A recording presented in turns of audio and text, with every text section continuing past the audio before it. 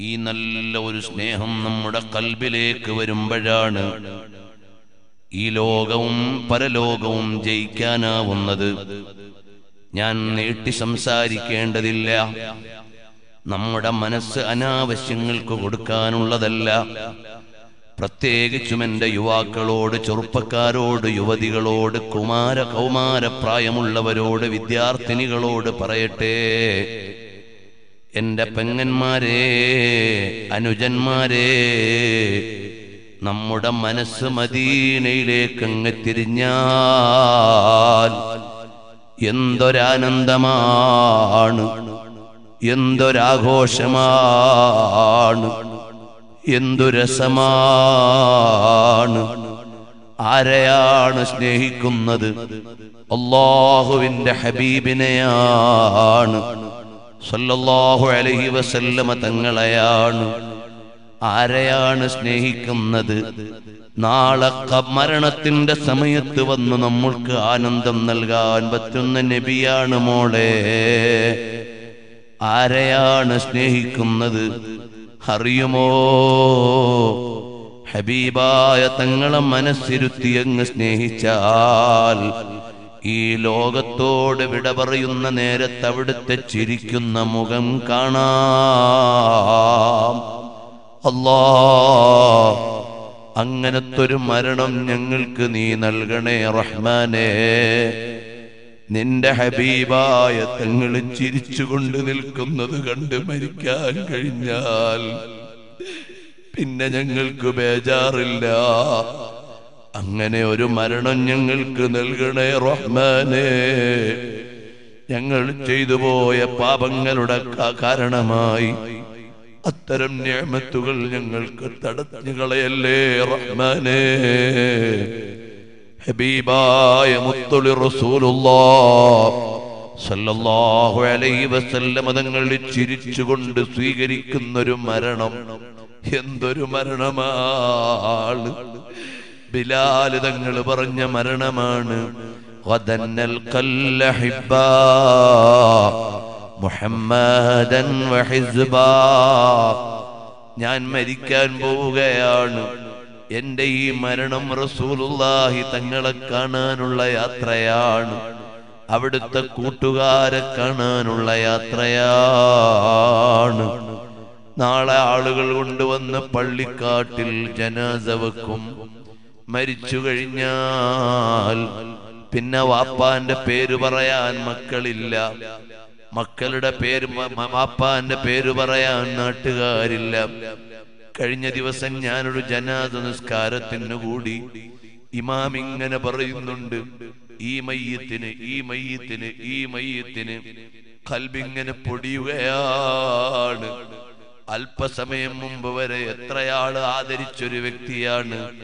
ഇപ്പോൾ ഇമാം ഇങ്ങനെ അടിക്കടി പറയുന്നു മയ്യത്ത് മയ്യത്ത് മയ്യത്ത്. എന്റെയും ഹാൽ ഇങ്ങനെ തന്നെയാണല്ലോ. നമ്മുടെ എല്ലാവരുടെയും അവസ്ഥ ഇതാണല്ലോ. അതാ ഇനി ആർക്കും നമ്മളെ വേണ്ടല്ലോ. എന്തൊരവസ്ഥയാണ്? എല്ലാവരും അങ്ങനെ യാത്രയാകേണ്ടവരാണ്. അല്ലാ മരിക്കുമ്പോൾ സ്വർഗത്തിലേക്ക് ചേരുന്നവർ അവരാണല്ലോ വിജയികൾ. ഞങ്ങളെ നീ അതിൽ ഉൾപ്പെടുത്തണേ റഹ്മാനേ.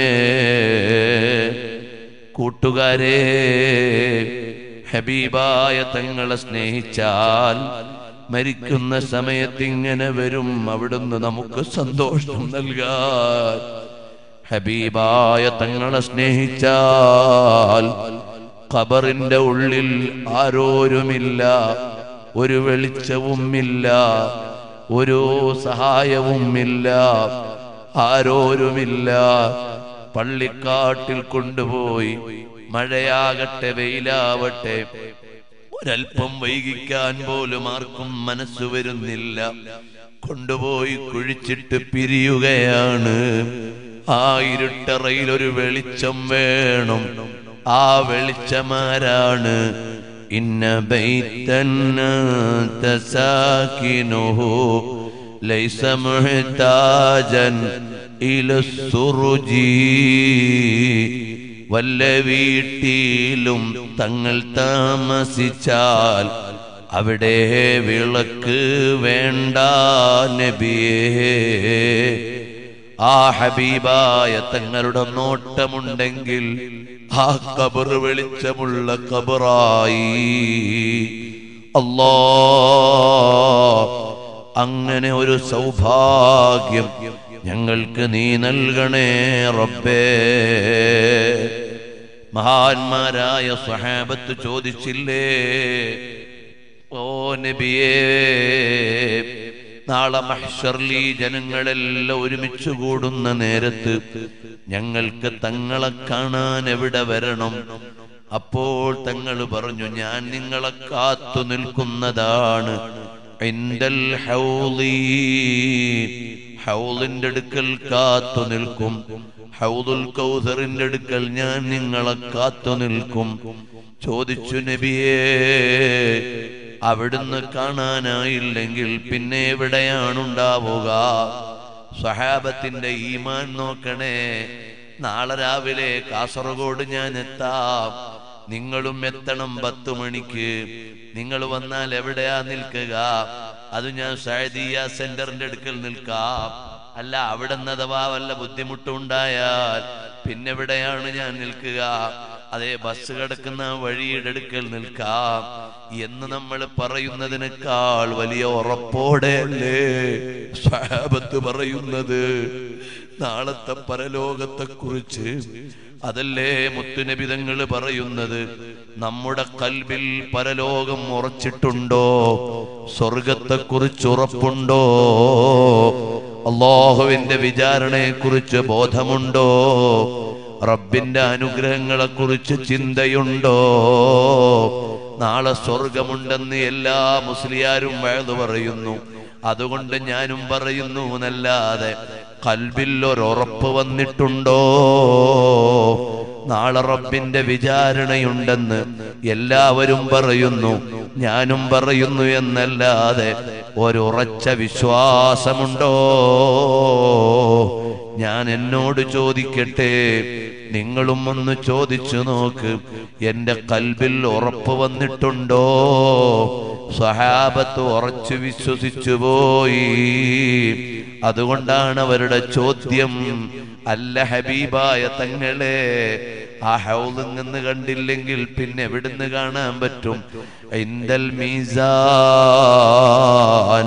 നന്മതിന്മകൾ അളന്നു തൂക്കുന്ന സ്ഥലമുണ്ട്. അവിടുന്ന് കാണാം.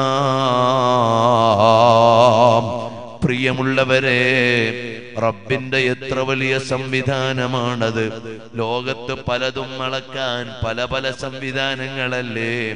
ഭാരമളക്കാൻ തുലാസുണ്ട് കലോറി അളക്കാൻ സംവിധാനമുണ്ട് ഊഷ്മാവളക്കാൻ മീറ്ററുണ്ട്. അതുപോലെ എന്തെല്ലാം മീറ്ററുകളാണ്? ഡിജിറ്റൽ സംവിധാനമാണ്. റബ്ബിന്റെ അടുക്കൽ ചെല്ലുമ്പോൾ അവന് നിമിഷം കൊണ്ട് അമലളക്കാനുള്ള സംവിധാനമുണ്ട്. ഇന്നാ ഈമാൻ ഉറക്കാൻ പറ്റും.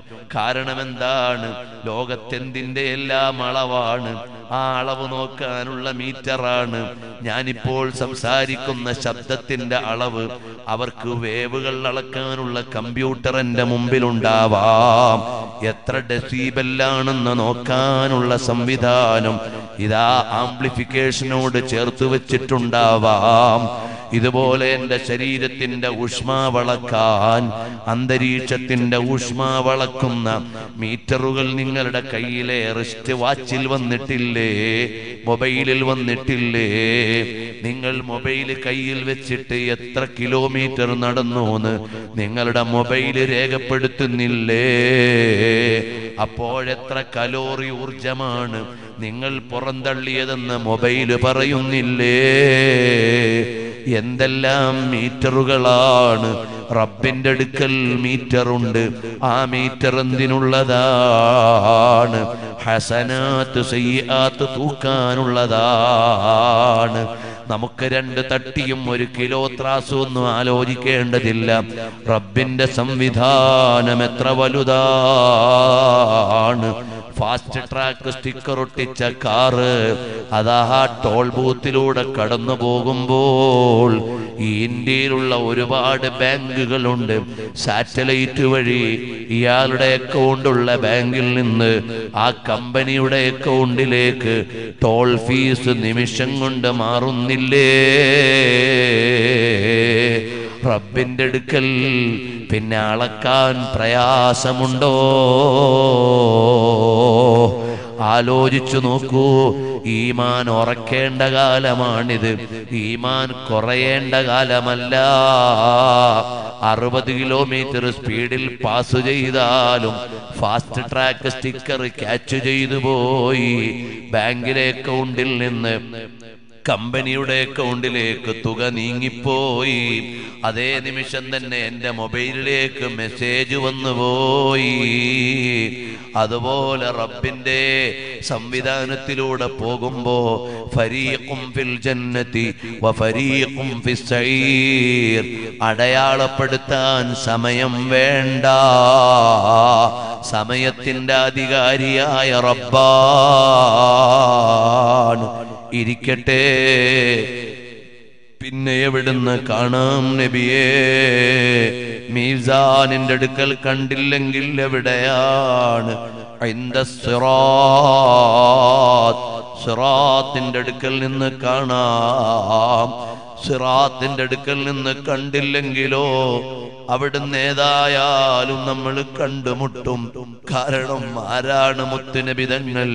അവിടുത്തെ അനുയായികളിൽ നിന്നൊരാൾ സിറാത്ത് സംവിധാനത്തിലേക്ക് പാലത്തിലേക്ക് കാലെടുത്തു വെക്കുമ്പോൾ അള്ളാഹും